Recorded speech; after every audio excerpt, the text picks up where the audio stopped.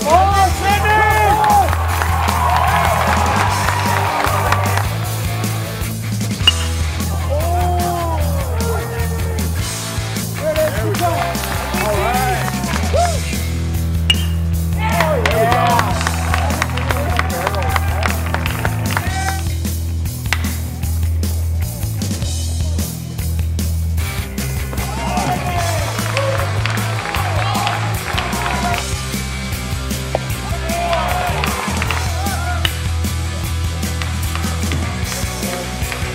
job, Paul.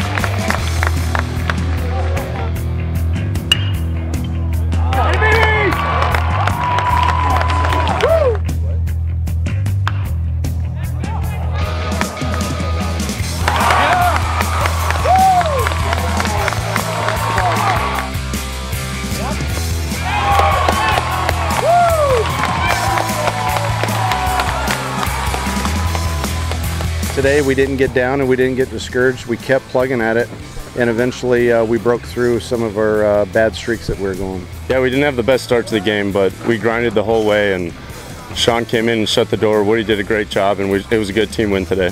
We had our way with them uh, about a, a, month ago, and, and they're they're fighting just like we are to make the playoffs. So we're going to get their best effort, and we're going to have to play well to win.